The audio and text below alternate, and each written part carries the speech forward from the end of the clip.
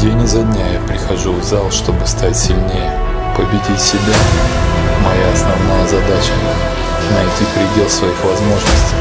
Моя цель – я не жду быстрых результатов. Я готов к длинному пути.